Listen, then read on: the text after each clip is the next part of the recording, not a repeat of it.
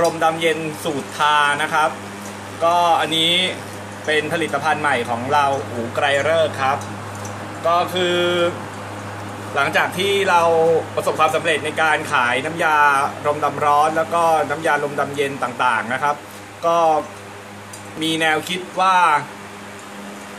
น้ำยาลมดำร้อนเนี่ย มันสวยงามก็จริง แต่ว่ามันไม่ค่อยสะดวกสำหรับบางท่าน ก็เลยต้องมีน้ำยารมดำเย็น คราวนี้น้ำยา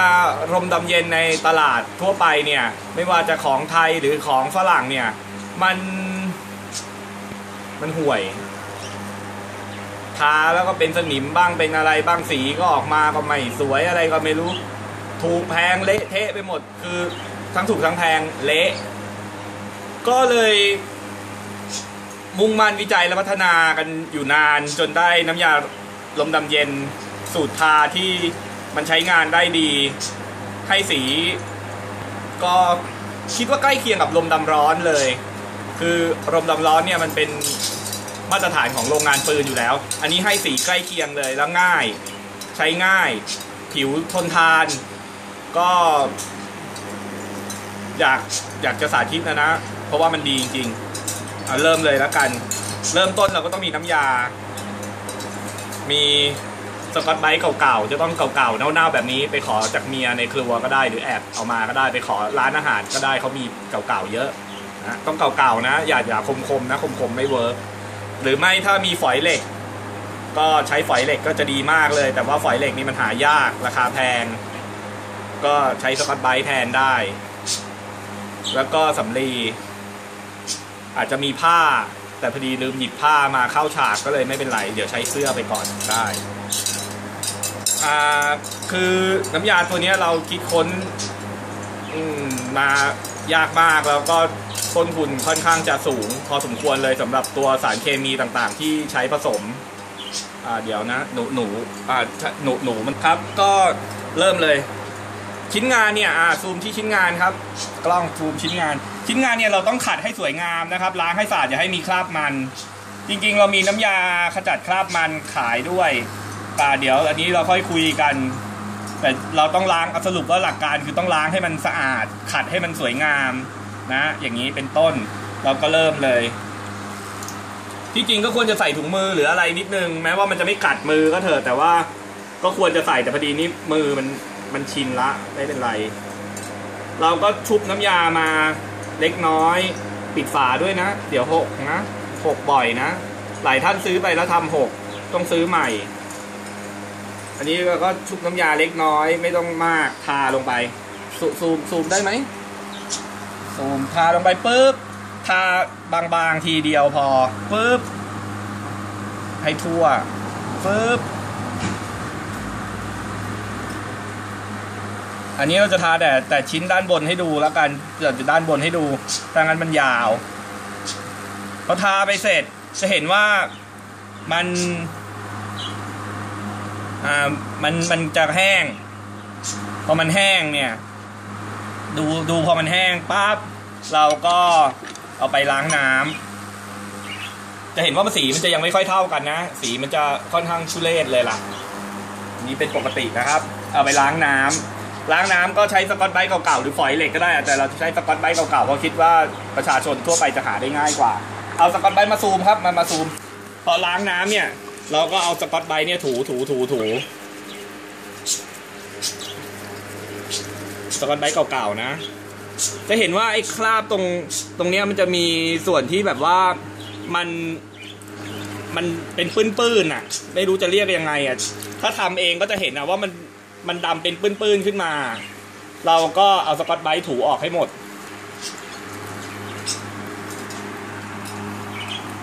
อ่า ให้มันได้สีค่อนข้างเรียบนะ สีมันต้องเรียบพอถูออกหมดเสร็จ เราก็เช็ด หรือจะไม่เช็ดก็ได้นะ แต่เช็ดมันก็จะจะดีกว่า ก็ทำซ้ำอีก อันนี้สำลีนี่เห็นไหม อันนี้ใช้ไม่ได้แล้วนะ สีฟ้าฟ้ามันหายไปแล้วเรากลับด้านก็ได้ อ่าไม่ต้องใช้ใหม่ จะได้ไม่เปลือง แล้วก็ทา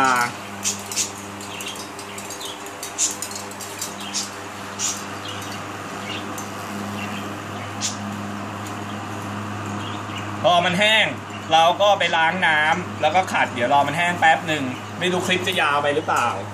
แต่ไม่เป็นไร อ่า สมมติว่ามันแห้งละ ก็แห้งแล้วล่ะ เอาไปล้างน้ำแล้วก็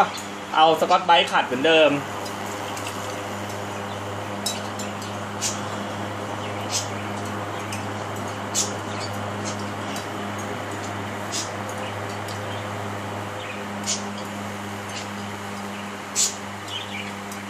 อะ อันนี้จะสังเกตว่าสีมันจะเข้มขึ้นมาละ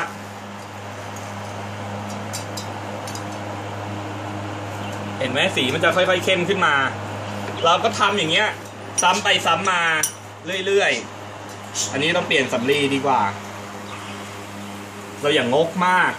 ทำงานนี้เราอย่างงก แต่เราก็อย่าฟุ่มเฟือย อ่า เราเปลี่ยนสำลีแล้วก็ทาไปเหมือนเดิม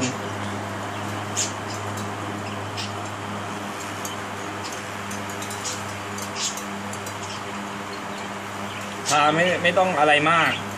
เดี๋ยวพอมันแห้ง เราก็ไปล้างทำซ้ำซ้ำซ้ำซ้ำอย่างเงี้ย จนกว่ามันจะดำขึ้นจนมันไม่ดำแล้วอะ อ่านี้มันจะยังไม่แห้งนะ แต่เดี๋ยวมันก็คงแห้งอะพยายามจะทำให้มันแห้งเร็วๆคลิปจะได้ไม่นาน นานแล้วจะเบื่อ อ่าไหนๆระหว่างรอมันแห้งเนี่ยจะพูดถึงคุณงามความดีของน้ำยานี้แล้วกันว่าแบบว่า อันเนี้ยน้ำยาเนี้ยมันคิดค้นขึ้นมาได้เนี่ย ก็เพราะว่าคุณลุงลุงสนปณท่านโกศลไกลเลิกอดีต รองนายกรัฐมนตรี ท่านบอกให้คุณป้า ซึ่งเราเรียกว่าแม่แม่ซึ่งอ่าชื่อท่านนรินไกรเลิกก็เป็นอัครราชทูตก็ส่งเราไปเรียนที่เยอรมันทำให้เราเนี่ยสามารถอ่านภาษาอังกฤษอ่านภาษาเยอรมันออก ฟังพูดอ่านเขียนได้นะ ก็เลย สามารถคิดค้นน้ำยานี้ขึ้นมาได้ ดังนั้นถ้าลูกค้าเอาไปใช้แล้วคิดว่ามันดีก็ อนุโมทนาไปถึงคุณลุงลุงสนด้วยละกัน แล้วก็แม่แม่ท่านนรินท่านเป็นอัครราชทูต ลุงสนเป็นรองนายกลุงสนท่านก็เสียไปนานแล้วเราเรียกเสียไม่ได้นะ เพราะว่าท่านเป็นรองนายกต้องใช้ว่าถึงแก่อนิจจกรรม อะเห็นไหมว่ามันจะเริ่มดำขึ้นมาเรื่อยๆเอาสำลีเช็ดก็ได้ เสื้อมันเปียกหมดละ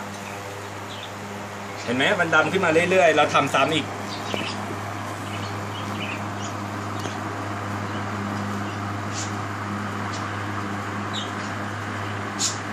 อันนี้เราต้องกลับด้านสำลีนะเห็นไหมด้านสำลีด้านนี้มันดำแล้ว มันใช้ไม่ดีแล้วล่ะ อ่าปึ๊บปึ๊บ กล้องไม่ทราบว่าเห็นเห็นมันเป็นสีสีดำอมน้ำเงินไหมเห็นไหมในในกล้องเห็นใช่ไหมสวยงามมากเลย อันนี้เป็นสีดำอมน้ำเงินเนี่ย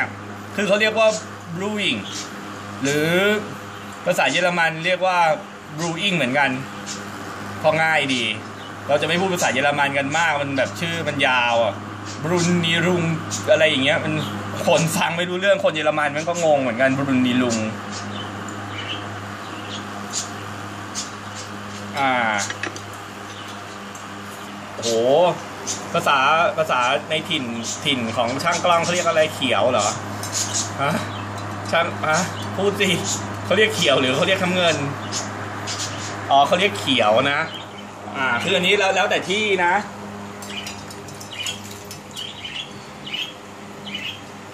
อ่าแล้วก็ทำเหมือนเดิมเนี่ย คลิปออกจะยาวแล้วนะเนี่ย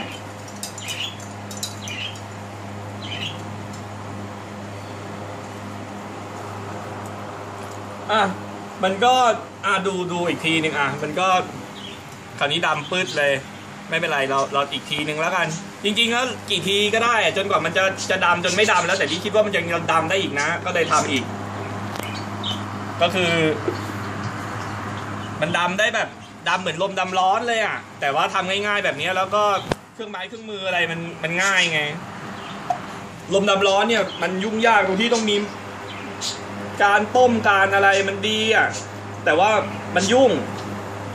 และไอ้ลมดำร้อนเนี่ยมันจะมีปัญหาคือลูกค้าบางท่านจะเอาไปต้มในหม้ออลูมิเนียมหม้อทะลุบางท่านเอาหม้อข้าวหม้อทะลุเมียด่าโอ้โหบ้านเละไปหมด มันมันยุ่งเพราะมันต้องก่อเตา เราเองก็เคยก่อเตาที่บ้าน ต้มปืนยาว บ้านพื้นบ้านระเบิดตูมขึ้นมา ชาวบ้านวิ่งมาดูนึกว่าเล่นระเบิดอีกแล้ว เจ๊ง อาจจะบ้านนั้นโดนยึดไปแล้ว ก็เลยมาอยู่บ้านใหม่ บ้านใหม่นี่จะเป็นแบบสวยงามมีสวนมีอะไร ซึ่งถ้าจำคลิปเก่าๆได้เห็นว่าบ้านเก่ามันเป็นตึกแถวมันจะโกโลโกโสหน่อย อันนี้ก็โดนยึดตื่นเช้ามาเจอหมายบังคับคดีอะไรไม่รู้งงเลย ก็สวย แต่คนเรามันไม่ไม่เป็นไรนะ โดนยึดบ้านเนี่ย เราก็มาหาบ้านใหม่ได้ เราอย่าคิดมาก อ่าแล้วก็ เหมือนเดิมนะครับอ่าคิดว่าอันนี้พอพอสำหรับการสาธิตแล้วกันถ้าถ้าทำต่อไปนานๆคงคงหลับกันนะเพราะว่ามันก็ซ้ำๆอะอ่าเราก็จะให้ดูว่าสีมันเป็นประมาณเนี้ยเนี่ยแล้วเช็ดเนี่ยกับสำลีนี่มันจะไม่ออกนะ อ่าดูเห็นไหมเช็ดจะไม่ออกนะ พอเราทำเสร็จปั๊บเราเช็ดหรือเปล่าไว้แห้ง แล้วเอาโซเนกพ่นอ่าโซเนกมันอยู่มันอยู่ตรงหลังรถขี้เกียจหยิบมาอยู่ตรงนั้นขี้เกียจหยิบไม่เป็นไร ทุกคนรู้จักโซเนกเอาโซเนกพ่น ให้ทั่วเลยนะครับ มันจะได้ไม่ขึ้นสนิมแล้วก็เอาน้ำมันน้ำมันปืนถ้าไม่มีก็เรามีขาย หรือว่าถ้ามีอยู่แล้วก็มี หรือว่าถ้าไม่มีจริงก็น้ำมันเครื่องรถก็ได้ แต่พวกน้ำมันหมูน้ำมันพืช ไม่ได้ อันนั้นมันไม่ได้นะ น้ำมันมะพร้าวพอได้แต่ว่าน้ำมันมะพร้าวแพงแพงกว่าน้ำมันปืนเราอีก อ่า มันก็จะได้สีประมาณนี้ เดี๋ยวพ่นโซเนกให้ดูหน่อยดีกว่า เพื่อว่าสีมันจะได้ดูดูแบบใกล้เคียงความเป็นจริง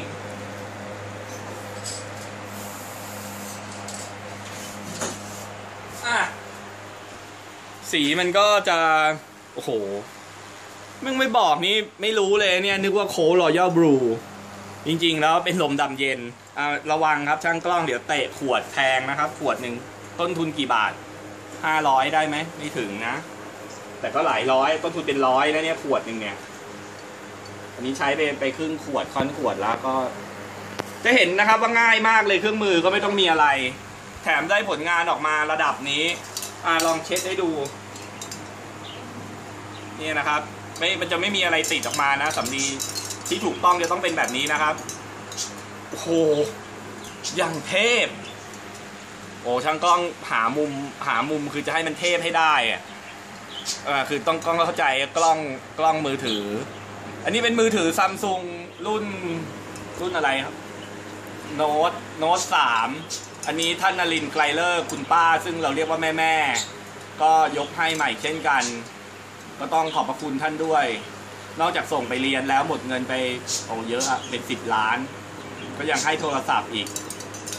แต่รถท่านไม่ให้นะรถท่านให้ไม่ไม่ให้อันนี้รถเราซื้อเองก็เลยเก่านะท่านบอกว่าท่านจะไม่ยกสมบัติอะไรให้เลยด้วย บอกว่าเราจะเอาไปขายกินหมด ก็ไม่เป็นไรก็ยกให้น้อง น้องสาวนี่สบาย ได้ผัวเป็นตำรวจผัวเป็นพันตำรวจเอกเลย มีน้องเขยเป็นพันตำรวจเอกซะด้วยโคตรหล่อเลย อ่าครับเอาเอาดูดูว่ามันสวยงามแล้วกัน สวยนะ ก็ลองซื้อไปใช้กันดูแล้วอย่างที่บอกครับ ก็ถ้าซื้อไปใช้แล้วมันดีก็เป็นคุณงามความดีของพนักท่านโกศลไกรเลิกอดีตรองนายกรัฐมนตรี และท่านนรินไกรเลิกอดีตอัครราชทูตนะครับ ก็ตัวผมก็ ทำอะไรดีๆ แบบนี้ขึ้นมาได้ก็เพราะสองท่านเนี้ยสนับสนุนส่งเสริม ขอบคุณครับ สวัสดีครับ